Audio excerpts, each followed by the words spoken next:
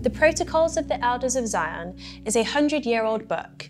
It's a book that was read by Hitler and a book that inspired the 9 11 terrorists.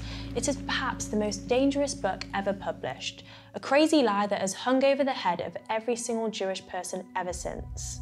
The book claims to be a real record of a secret meeting.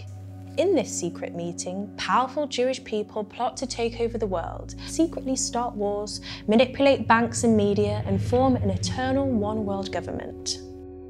Obviously, this is an insane racist fantasy. A major legacy of the late 19th century Russian anti Semitism was the fabricated text known as the Protocols of the Elders of Zion. The work originated in circles of the Russian secret police based on materials borrowed from earlier conspiratorial anti Jewish writings and theories. Originally published in the early 20th century under the title Antichrist, the protocols disseminated, eventually becoming one of the most widely distributed anti Semitic publications of modern times.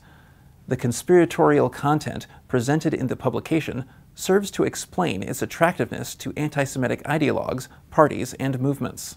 So, the Tsarist secret police put together this document that basically um, chronicled the meetings, the alleged meetings that took place over time in Prague at the site of the Jewish cemetery by Jewish elders who came together to discuss ways in which they could rule the world, in which Jews could rule the world.